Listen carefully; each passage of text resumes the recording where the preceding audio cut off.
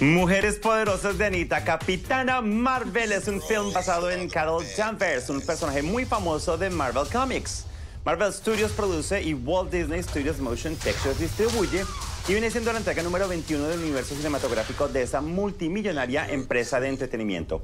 La película fue escrita y dirigida por Anna Bowden y Ryan Fleck, a quienes ayudaron en el guion Geneva Robertson, Duaret y Jack Schaefer. El rol principal está a cargo de Brie Larson y a su lado actúan Samuel L. Jackson, Ben Mendelsohn, Jimon Honsu, Lee Pace, McKenna Grace, Rune Temte, Annette Bening, Clark Gregg y Jude Law. La acción nos lleva a los años 90, cuando Dianita amaba la música alternativa. Carol Danvers se convierte en la capitana Marvel luego de... Ay, me equivoqué, no, ¿cierto? Luego de que la Tierra queda en medio de un conflicto intergaláctico entre dos mundos alienígenas. El estreno es este fin de semana y por ello en el Teatro Dolby de Hollywood se hizo la gala de la premier. En la forma roja hablaron Samuel y Brie. Vean esto.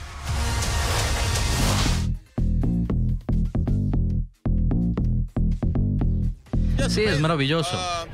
Incluso mejor, sabes, que tener a una amiga interpretando ese papel, posiblemente cambiando su carrera, pero creo que ahora ella será una estrella fugaz. Entonces es la parte grandiosa poder estar en algo con una amiga y saber que cambiará la percepción de quién es y que es capaz de hacerlo. Yo simplemente me siento aliviada. Han pasado tres años tratando de mantener este secreto, entonces estoy muy emocionada de compartirlo y no tengo que guardarlo por más tiempo. Para mí se trata de la historia del personaje, no importa qué tan grande sea esta película, es realmente desde la conexión humana y es por eso que funciona también. Como dijiste, es increíblemente diversa, con un gran margen de cosas y es una gran familia en la cual me siento feliz de ser parte. Scrolls are the bad guys.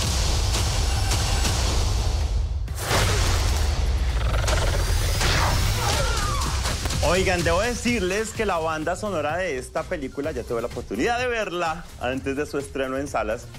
Janita, son puras mujeres poderosas de los 90 de, esa época alternativa y es buenísima. La música es realmente increíble y Brie lo hace muy bien, realmente. Oye, ¿sabes qué? Hay que ver la película, además. Esa escenita que con la que abre el trailer donde le pega a una abuelita, buenísima. O sea, uno queda sí, sí, sí, sí, sí, sí, sí. Muy divertida, se por Está muy... Claro, además que toca verla para poder ver la conclusión de... ¿Cómo se llama la otra película? Endgame, que es la continuación de Avengers Infinity Wars. Gracias, que aquí tengo a Andrés Díaz. A tu asistente. Experto en la materia. Sí, no, no, no. Él es experto en este universo y él, mejor dicho, está enloquecido por irse a ver esta película. No vamos a comerciales, pero antes, Dianita Huérfano les va a decir cómo nos conectamos en el espacio virtual. Pues tenemos que hablar, está en Facebook, Twitter e Instagram. Dianita, por favor. En Facebook estamos como tenemos que hablar NT, en Twitter arroba hablar NT y en Instagram tenemos que hablar. Si le quieren escribir Alfonso Díaz, no me hagas eso, por favor. Está en Twitter como Alfonex y en Instagram como Alfonso H. Díaz. Ya les he dado el consejo que se metan en el Instagram de él porque pone todo lo de las alfombras, detallitos, secretos y demás. What are you telling me? Ya nos vemos.